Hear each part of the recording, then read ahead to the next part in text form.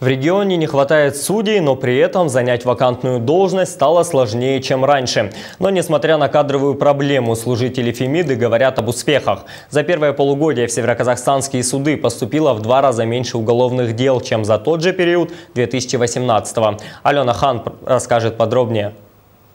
2019 объявлен годом качества правосудия, поэтому сейчас попасть в ряды судей стало сложнее. Этим можно объяснить 16 вакантных должностей. Они есть не только в Петропавловске, но и в районах области. Кроме того, сейчас принимают активные действия, чтобы сделать работу судебных органов более прозрачной.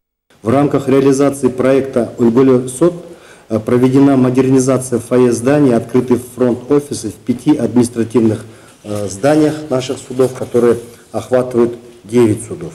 Посетители получают комплекс правовых услуг, специалист-консультант, адвокат, медиатор, нотариус и работник ЦОНу. То есть все в одном месте. В первом полугодии в суды поступило почти в четыре раза меньше уголовных дел, чем за тот же период 2018-го. Почти с 2000 сократились до 529. На это есть две причины. Общее снижение количества зарегистрированных уголовных правонарушений и прекращение 330 уголовных дел по примирению сторон. Число оконченных уголовных дел естественно, сократилось также в 2,2 раза, а в абсолютных цифрах с 1121 до 515. А с вынесением приговоров сократилось на 68,6%, с 544 до 374 дел.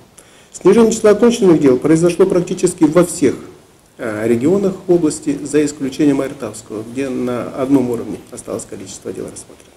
А вот гражданских дел в этом году рассмотрели почти 9 тысяч. Из них 13% в порядке упрощенного письменного производства. В апелляционном пересмотрено 620 решений судов первой инстанции. 542 из них остались без изменений. Частных определений судами области по гражданским делам а, вынесено 76. В прошлом году было их 65.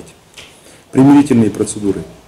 С применением примирительных процедур судами области окончено 972 гражданских дела – это практически 13,5%. А благодаря проекту «Ночной суд» рассмотрели 272 дела по дорожно-транспортным происшествиям и 8 по семейно-бытовым отношениям. Алена Хан, Данил Тарасов. Новости МТРК.